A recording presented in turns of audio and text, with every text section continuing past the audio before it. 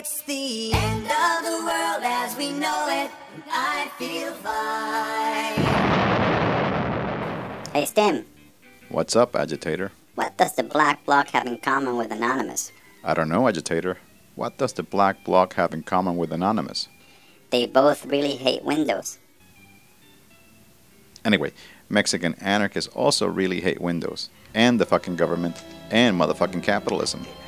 This was exemplified by the wrecking ball of destructive activity perpetrated on the evening of December 1st, when comrades showed their virulent disgust with the Mexican president and his complicity in the disappearance of their 43 comrades. Check this shit out.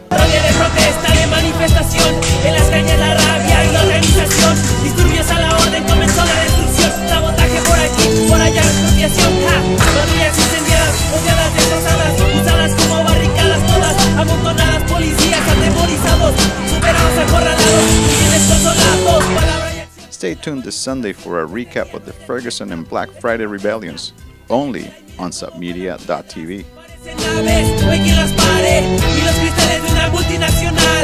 Ni los